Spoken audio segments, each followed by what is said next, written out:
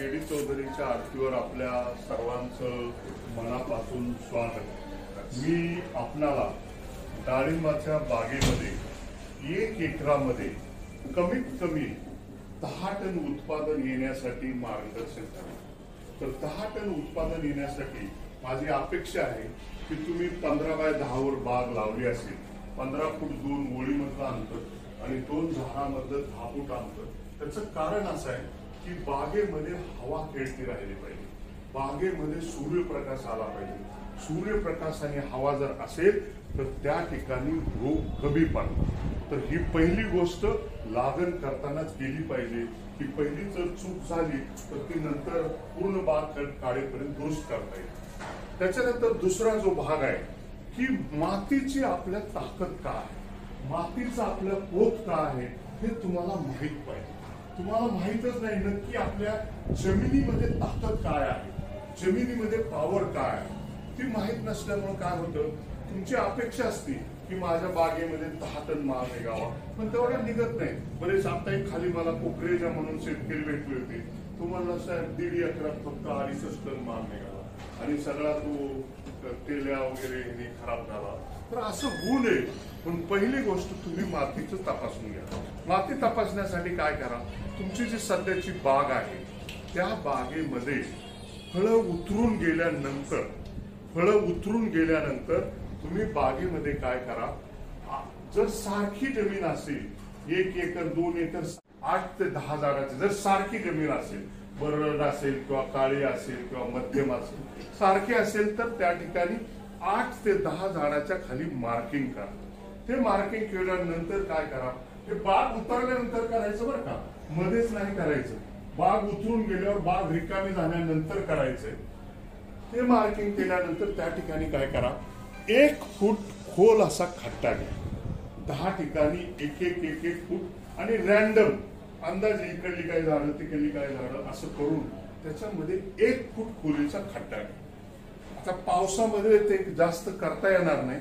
पाऊस उघडल्यावर करा कारण पावसामध्ये चिखल वगैरे असलं तर ते जमणार नाही. तर त्यामध्ये काय करा वरच्या थरापासून खालच्या थरापर्यंत थोडी थोडी थोडी थोडी माती एखाद्या भांड्यामध्ये गोळा करा. अशी माती गोळा केल्यानंतर दहा ठिकाणची माती गोळा करा. ती माती एका कपड्यावर टाका. त्या कपड्यावर काय करा जर त्याच्यामध्ये काही ढेकळं वगैरे असतील तर ते लाकडाच्या सहाय्याने फुटा खडे वगैरे असतील तर बाजूला करा. ती बारीक करा लाकडाच्या सहाय्याने ती बारीक केल्यानंतर सगळी एकत्र करा. एकत्र करून काय करा अर्धा भाग टाकून द्या. परत एकत्र करा परत अर्धा भाग टाकून द्या. पण एवढा टाका की आम्हाला फक्त अर्धा किलो माती मिळाली अर्धा किलो माती मिळाली पाहिजे. आणि ती माती काय करा? ती माती एका प्लास्टिकच्या पिशवीमध्ये भरा. प्लास्टिकच्या पिशवीमध्ये भरा. आणि त्याच्यावर तुमचा सर्वे नंबर गाव तालुका ते सर्व लिहा. तुमचं नाव वगैरे लिहा. ते तालुका गाव का लिहायचं कारण इथं माती तपासायला द्राक्षे ह्या डाळिंब बागादार संघामध्ये पाचशे रुपये घेतात. तुमचं नाव गाव ते गव्हर्नमेंट चारशे रुपये देते. म्हणजे हजार रुपये सॅम्पल तपासायला आहे. पण तुम्ही नाव गाव पत्ता ही जर व्यवस्थित दिलं तर ते फक्त पाचशेत भागवतील नाहीतर मग तुम्ही ते व्यवस्थित नाही दिलं तर तिला हजार रुपये द्यावे लागतील. तर तेवढं नमुना आणून इथं ठेवा तुमचा आणि पाचशे रुपये मी केडी चौधरी तिथं आणून ठेवा. आठ दिवसानंतर माती मी तपासून तुम्हाला देईल. त्याच्यावर शिफारस पण देईल. ते शिफारस देताना त्याच्यामध्ये एक आहे. की शिफारस आल्यानंतर तुमच्या मातीमध्ये सेंद्रिय कर्ब हा एक टक्का असला पाहिजे. किती टक्का असला पाहिजे? एक रुपया असला पाहिजे. समजा एक रुपया असला तर तुमच्या मातीमध्ये चांगली ताकद आहे असं समजायचं. जर परंतु काय झालं माहितीये का? महाराष्ट्र गव्हर्नमेंट किंवा भारत सरकारनं बऱ्याच ठिकाणच्या माती तपासलेले हे तपासल्यानंतर त्यांच्या लक्षात असं आलेलं आहे की एक टक्का सेंद्रिय कर्ब राहिलेला नाहीये. तो किती राहिलाय माहीत आहे का? पन्नास पैसे चाळीस पैसे सत्तर पैसे असा राहिलेला आहे. म्हणजे कमी झालेला आहे. म्हणजे त्याला अं, इंग्रजीमध्ये point five point four point किंवा पाच दशांश चार दशांश एक नाहीच आहे. तर तो जर नसला तर तुमच्या बागेमध्ये फळं भरपूर लागणार नाही. दुसरी गोष्ट रोग प्रतिकारक शक्ती जी आहे ती त्याच्यामुळे निर्माण होते. तर हा सेंद्रिय कर्ब कशापासून तयार होतो? सेंद्रिय कर्ब तुम्ही जे कुजलेलं शेणखत घालता त्या शेणखतापासून तयार होतो. तर ते किती घातलं पाहिजे? समजा तुम्ही तपासली माती आणि तुमच्या लक्षात आलं की सेंद्रिय कर्ब हा आपल्या मातीमध्ये पन्नास पैसेचा आहे किंवा अर्धा टक्काचा आहे. तर तुम्ही दरवर्षी चांगली कुजलेलं शेणखत साधारणपणे वीस किलो तीस किलो घाला एका झाडाला आणि ते घालण्याची जी पद्धत आहे तुमची फळं उतरून गेल्यानंतर पहिलं काम करा की ते शेणखत घाला. शेणखत कुठं घालायचं? दुपारी बारा वाजता सावली पडते तेवढ्या भागामध्ये पसरा. तेवढ्या भागामध्ये पसरा. त्याच्यामध्ये वीस ते तीस ग्रॅम एक पीएसबी म्हणून मिळते. Phosphate solubilizing bacteria. त्या बॅक्टेरिया टाका. त्याच्यानंतर वीस ते तीस ग्रॅम केएसपी म्हणून मिळते. पोटॅश सोलोबलायझिंग बॅक्टेरिया त्या टाका. त्याच्यानंतर एक अझॅटोबॅक्टर म्हणून मिळतं. ते एक वीस ते तीस ग्रॅम टाका. त्याच्यानंतर बाजारामध्ये ट्रायकोडर्मा म्हणून मिळते. तर ते ट्रायकोडर्मा सुद्धा साधारणपणे शंभर दीडशे ग्रॅम एका झाडाला मी सांगतो. हे प्रमाण सगळं मी एका झाडाचं सांगतो. त्या शेणखतामध्ये मिक्स करा. शेणखत पसरून घ्या. आणि चाळणी करा. काय करा? चाळणी करा. चाळणी केल्यामुळे काय होईल माहितीये का? जमिनीमध्ये हवा खेळ होणार माणसाला जसा ऑक्सिजन लागतो त्या कोरोनामध्ये ऑक्सिजन लावत होते बघा. वनस्पतीला सुद्धा ऑक्सिजन लागतो. आणि ते मुळाच्या जवळ जर भुसभुशीत जमीन असली तर वरून ऑक्सिजन खाली जाईल. जर हार्ड झालेली रासायनिक खतामुळं जमीन हार्ड होते. आणि हार्ड झाली की ते हवा खाली जात होती. जमीन भुसभुशीत राहिली पाहिजे. हवा खेळती राहायला पाहिजे. दुसरी गोष्ट जमीन जर भुसभुशीत राहिली हवा जर खेळत राहिली तर त्याच्यामध्ये निचरा चांगला होतो. पाण्याचा निचरा होतो. दुसरी गोष्ट पाणी धरून ठेवण्याची ताकद वाढते. पाणी धरून ठेवण्याची म्हणजे काय? ते पाणी जात नाही. तर पाणी धरून ठेवतं हवा खेळती राहते जमिनीमध्ये निचरा होतो आणि जीवाणूची संख्या वाढते. जीवाणू सुद्धा एक महत्वाचं काम आहे. त्यावेळेला तुम्ही रासायनिक खत बिलकुल घालू नका. मी जे हे सांगितलं अजॅटोबॅक्टर पीएसबी त्याच्यानंतर केएसबी त्याच्यानंतर ट्रायकोडर्मा ही सगळी जैविक खत आहेत. त्यावेळेला रासायनिक खत तुम्ही बिलकुल देऊ नका. कारण जीवाणू हे जमिनीमध्ये एक कुक म्हणून काम करतात. ते अन्न शिजवण्याचं काम करतात. त्यासाठी तुम्ही त्यावेळेला रासायनिक खत घालू नका. आणि हे सगळं काम तुम्ही भाग उतरून गेल्यानंतर करायचं. त्याच्यानंतर दुसरी जी स्टेप आहे दुसरी स्टेप आहे पंधरा ते वीस दिवस कोणतेही रासायनिक खत घालू नका. पंधरा ते वीस दिवस कोणतेही रासायनिक खत घालू नका. त्याच्यानंतर बागेमध्ये तुम्ही फळं उतरून गेली तरी रोग पडला नाही पाहिजे. रोग पडू नये म्हणून समजा काय मावा असेल तुडतुडे असतील त्याच्यासाठी कंट्रोल करा. आता तुम्हाला माहीत आहे मावा तुडतुडीसाठी कॉन्फिडर मारतात हे मारतात. ते औषध मारून कंट्रोल करा. आणि वेळेत कंट्रोल करा. काय होतं माहिती आहे बऱ्याच वेळा? आपण लक्ष देत नाही. बाग उतरून गेल्यावर काय करतो? बघू नंतर एक महिन्याने. ऊस तुटून गेल्यावर मग तू बघू एक महिन्याने. आणि मग ते सगळं वाटोळं होते. त्यासाठी काय करा? तिथं फवारा मारा. कॉन्फिडर सुपर मारा. मावा तुडतुडे झाले नाही पाहिजे. दुसरी गोष्ट अशी आहे आळी वगैरे बी पडली नाही पाहिजे. आळीची औषधं मारा. तिसरी गोष्ट अशी आहे फंगस बुरशीपासून जे रोग होतात पानावर डाग पडतो काळे डाग पडतात काळे टिपके पडतात काळीवर पडतात तर ते सुद्धा पडले नाहीचे त्याच्यासाठी बुरशीनाशक मग बाजारात अनेक बुरशीनाशक आहेत.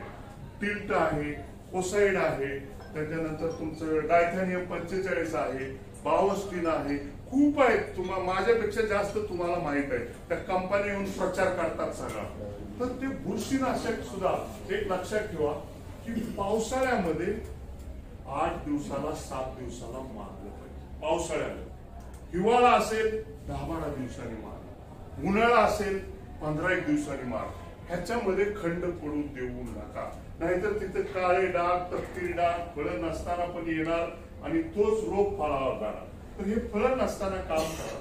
तिसरी गोष्ट अशी आहे पंधरा एक दिवस झाल्यानंतर आपण भार धरणार मग तुम्ही ठरवा कोणता भार धरायचा. हस्तभार धरायचा मृग भार धरायचा आंबे भार धरायचा हे तुम्ही ठरवा.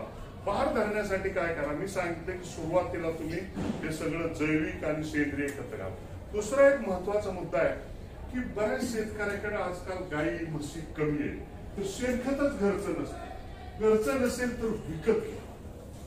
विकत नसेल तर ते तुम्ही काय करा समजा विकत काही गावामध्ये असं आहे सर्वच शेतकरी असल्यामुळे विकत पण मिळत नाही. प्रत्येक जण म्हणतो मलाही लागते मलाही लागते ते पण मिळत नाही. अशी जर परिस्थिती आली तर पंधरा फुटाचा जो पट्टा आहे मधला जो पंधरा फुटाचा पट्टा आहे त्याच्यामध्ये सरळ ताग पेरा काय पेरा ताग. तागाचं बी मिळतं. आणि ताग जो आहे तो साधारणपणे फुलं येण्यापूर्वी पाच ते सहा आठवड्यांनी कापून तो काय करा? झाडाच्या खाली कट करून पुरा ती कुजण्याची प्रक्रिया ऑटोमॅटिक होते. आणि दुसरं एक तुम्हाला सांगतो की कुजण्याची जी प्रक्रिया आहे त्याच्यामध्ये एक ऍसिड तयार होत असतं. आता तुम्हाला जास्त माहिती सांगत नाही ते ऍसिड जर तयार झालं जमीन खारट असलेली खारटपणा आपोआप कमी होतो. तुम्ही ते ह्युमिक ऍसिड वगैरे घालता ना? सायट्रिक ऍसिड ह्युमिक ऍसिड खारटपणा ऑटोमॅटिक कमी होतो. पण त्याच्यासाठी ते पुरलं पाहिजे. तुम्ही म्हणाल ही मेहनत आहे पण हे तुम्हाला दरवर्षी करावं लागेल. त्याचं कारण का सांगतो? आपला भाग हा उष्ण कटिबंधातला आहे. आपल्या इकडं ऊन जास्त पडतं. त्यामुळे तुम्ही जरी शेणखत घातलं ते कुजतं ते कुजल्यानंतर त्याच्यातली जी अन्नद्रव्य आहेत त्या उन्हामुळं हवेमध्ये निघून जातात. तुम्ही म्हणाल मी गेल्या वर्षी घातलं होतं. या वर्षी घालायची काही गरज नाही. ती एकची लेवल टिकली पाहिजे. ती एकची लेवल मी जी सांगितलं ती माती तपासल्यानंतर त्या मातीमध्ये सेंद्रिय कर्माची टक्केवारी लिहिलेली असते. त्याच्यामध्ये लिहिलेलं असेल पॉईंट फाईव्ह पॉईंट सिक्स असं लिहिलेलं असतं. पॉईंट पाच पॉईंट म्हणजे दशांश पाच दशांश सहा दशांश. नसेल तर मला दाखवा. मी सांगेल ती किती टक्के ती एक टिकली पाहिजे. ती एक टिकण्यासाठी मग कदाचित काही शेतकऱ्याला पन्नास किलो शेणखत घालावं लागेल. काही शेतकऱ्याला चाळीस किलो घाला काही शेतकऱ्यांना वीस किलो घाला. त्याच्या लेवल प्रमाणे. ती जर लेवल आली तर भरपूर पानं फुलं येतात. त्याच्यानंतर दुसरं जे आहे की ते बहार धरण्यासाठी काय करा? परत पंधरा वीस दिवसांनी जमिनीमधून एक किलो चार वर्षे पाच वर्षापेक्षा मोठ्या झाडाला एक किलो दहा सव्वीस सव्वीस द्या. काय करा? दहा सव्वीस सव्वीस एक किलो द्या. आणि ती देण्याची जी पद्धत आहे ती पद्धत थोडी बदला. त्या खोडाचं एकदम जवळ देऊ नका. किंवा ड्रिपरच्या खाली ठेवू नका. बरेच शेतकरी मी बघितलं नांदजला वगैरे द्राक्ष बागायतदार वगैरे ते लय हुशार समजते आम्ही लय हुशार आहे. आणि ते काय करतील ड्रिपरच्या खाली मुठभर ठेवतील ते म्हणतात ते विरगळून खाली जाईल. पण रासायनिक क्रिया तशी होत नाही. तुमच्या माहितीसाठी सांगतो. दहा सव्वीस सव्वीस याचा अर्थ काय? त्याच्यामध्ये दहा किलो नत्र आहे. सव्वीस किलो स्फुरद आहे सव्वीस किलो पालास आहे. ते किती ह्याच्यामध्ये? तुम्ही जर शंभर किलो दहा सव्वीस घेतलं त्याच्यामध्ये दहा टक्केच नत्र आहे. म्हणजे शंभर किलो मध्ये दहा किलो आहे. सव्वीस किलो स्फुरद आहे आणि सव्वीस किलो पास आहे. शंभर किलो मधून बासष्ट अन्नद्रव्य जी पिकाच्या वाढीसाठी असतात. तर ते काय करा त्याच्यामधलं स्फुरद आणि पालास आहे. पाणी जरी पडलं तरी ते खाली जात नाही. ते मातीच्या कणावर चिटकून बसते. त्याच्यात एक रासायनिक गुणधर्म आहे ते चिटकून बसते म्हणून शेतकऱ्यांनी ड्रिपरच्या खाली हे स्फुरद आणि पालास कधीच ठेवायचं नाही. तुम्ही सहा सात इंच खोल अशी बुडापासून अडीच तीन फूट दूर जहा जास्त पसरलेला असेल तर अशी खोल गल घ्या. खोल असं गोल रिंग घ्या. आणि त्या रिंगमध्ये एक किलो टाका आणि ते झाकून घ्या. आणि नंतर पाणी मारा. पुन्हा पाणी देताना सुद्धा काय करा माहिती आहे का? तुमचे जे ड्रिपर लाईन आहे ट्रिपल लाईन ह्या दोन पाहिजे. लॅटरल उजव्या बाजूला एक लॅटरल पाहिजे डाव्या बाजूला एक लॅटरल पाहिजे आणि ती जी लॅटरल आहे खोडापासून कमीत कमी दोन फूट दूर पाहिजे. खोडाला पाणी लागता कामा नये खोडाला जर पाणी लागलं तर तिथं ती आळी पिनहोल बोरड तयार होते. खोडाला पाणी लागता कामा नये आणि झाडाला भरपूर पाणी मिळण्यासाठी कमीत कमी इकडं चार इकडं चार असे आठ ड्रिपर पाहिजे तर ही एक किलो दिल्यानंतर दुसरा जो हप्ता आहे दुसरा हप्ता परत पंधरा वीस पंधरा दिवसानंतर बाजारामध्ये झिरो बावन्न चौतीस मिळते. तुम्हाला माहीत असेल सगळ्याला झिरो बावन्न चौतीस जे आहे एक एकराला दररोज दोन किलो प्रमाणे पाच दिवस साधारणपणे दहा किलो झिरो बावन्न चौतीस ते देताना काय करा वापसा असल्याशिवाय पाणी देऊ नका. समजा काही शेतकऱ्याची जमीन भारी असेल तर दोन दिवसांनी द्या. काही जमिनीमध्ये वापसा लवकर येत नाही. जास्त पाणी देण्याच्या भानगडीत पडू नका. जास्त पाणी दिलं तर जास्त रोग येतात. पाणी देण्याचे लय काही शेतकऱ्याकडे पाणी भरपूर असतं. मग ती मोकळं सोडतात. काय करतात? म्हणतात आता बाग उचलून गेली मोकळं. तसं मोकळं सोडण्याची बांधणी करू नका. डाळिंब हे पीक कमी पाण्यावर येणार पाचशे मिलीपेक्षा कमी पाऊस पडणाऱ्या भागामध्ये चांगलं येतं. जास्त पाऊस पडणारा असेल तर त्या ठिकाणी ते येत नाही. तिथं रोग जास्त पडतात. म्हणून पाणी जास्त देण्याच्या भानगडीत पडू नका. ते दहा किलो दिल्यानंतर वर सुद्धा झाडाच्या वर झिरो बावन चौतीस. तुम्ही लक्षात ठेवा. पुढच्या वेळा मी पुस्तक घेऊन येईल. तुमच्या लक्षात राहिलं नाही ना ते पुस्तकातून वाचून तिकडे करा. त्याचा एक फवारा द्या. फवारा देताना काय करा? अडीचशे ग्राम शंभर लिटरमध्ये जास्त नाही टाकायचं. दोनशे लिटर पाणी लागत असेल तर पाचशे ग्राम झिरो बावन्न चौतीस टाका. त्याच्यामध्ये स्टिकर टाका. स्टिकर वापरता ना तुम्ही अपसाईड एटी वापरा किंवा ते पूर्वाचा अनेक स्टिकर आहे ते स्टिकर वापरा आणि त्याचा फवारा द्या. ते फवारा दिल्यामुळे काय होईल माहितीये का? वनस्पतीचे एक गुण आहे तुम्ही फवाऱ्यामधून जर खत दिलं पंच्याऐंशी टक्के ते खाते. किती टक्के? पंच्याऐंशी टक्के. पण जमिनीमधून जी मी सांगितलं एक किलो घाला. जमिनीमधून पण दिलं पाहिजे पण जमिनीमधून ते खाते किती माहितीये का? पस्तीस ते चाळीस टक्के. ती बी जमीन सगळी व्यवस्थित असेल तर. जमीन खारट आहे जमीन काय चिबडाची आहे तिथं ते खात नाही. फक्त तुम्ही शंभर रुपयाचं जर दिलं खत त्याच्यापैकी पस्तीस रुपये ते चाळीस रुपयाचं खाते साठ टक्के असंच जमिनीत राहते ते पुढच्या वर्षी किंवा हवेमध्ये निघून जातं. त्यासाठी फवारा वर द्या आणि हा फवारा पंधरा ते वीस दिवसांनी द्या प्रत्येक वेळेला. खताचा फवारा झिरो बावन्न चौतीस. कोणतं? झिरो बावन्न चौतीस. झिरो बावन्न चौतीसमध्ये नत्र कमी असल्यामुळं त्याला कळ्या जास्त लागतात पानं जरी हिरवी नाही ते झिरो बावन्न चौथीनं त्याच्यानंतर परत दहा पंधरा दिवसांनी परत दहा पंधरा दिवसांनी पाणी चालू ठेवा. हे सगळं का करायचं माहीत आहे का? जास्त फुलं आली पाहिजे जास्त कळ्या आल्या पाहिजे फळं जास्त लागली पाहिजे पानामध्ये अन्नाचा साठा झाला पाहिजे. काडी पकली पाहिजे. काय झाली पाहिजे? तुम्ही द्राक्ष बागायत जर ह्याच्यात कुणी असेल तर द्राक्ष बागायतदार काय करतो माहितीये का? एप्रिलमध्ये खारट छाटणी करते. काय करते? खरट छाटणी करते. आणि एप्रिलपासून ऑक्टोबर पर्यंत फक्त पानान काड्या वाढवते. दुसरं काय काम नसते. ऑक्टोबर नंतर फळं येतात. तसं आपल्याला डाळिंबामध्ये सुद्धा बाग उतरून गेल्यावर पहिले साडेतीन ते चार महिने खाऊ घालणे पाणी देणे पाणी तोडायचं नाही. तर त्याच्यानंतर काय करा दहा पंधरा दिवसांनी झिरो झिरो पन्नास म्हणून बाजारामध्ये कट येते. कोणतं? झिरो झिरो पन्नास. ते झिरो झिरो पन्नास सुद्धा दहा किलो द्या. किती किलो? दहा किलो. आणि ते एकदम एकदम चुकू नका दोन किलो आज दोन किलो आज तीन किलो आज. असं द्या. त्याचं कारण असं आहे. वनस्पती सुद्धा त्याला जीव आहे. एकदम सगळं खात नाही. आपण जसं काय सगळ्यात चपात्या दिवसाचं एकदम खात नाही. तसं वनस्पतीला जीव आहे. तुमच्या माहीत नाही. माहीत नसेल तर सांगतो. तुम्ही त्याला लाजाळूला हात लावलं तर ते पान चिटकवते वनस्पती ही सजीव आहे. सजीव असल्यामुळं त्याला दररोज थोडं थोडं दिलं पाहिजे. म्हणून ते दोन दोन किलो द्या. त्याच्यानंतर त्याचा पण एक फवारा द्या. झिरो झिरो पन्नासचा फवारा द्या. फवारा देताना पद्धत तीस. अडीचशे ग्राम शंभर लिटरला दोनशे लिटरला अर्धा किलो त्याचा एक फवारा द्या. त्याच्यानंतर बोरॉन जे आहे ना बोरॉन जर कमी पडलं तर ते कळी गळते फुल गळते. त्याच्यासाठी जमिनीमधून एक किलो बोरॉन ड्रिप मधून द्या.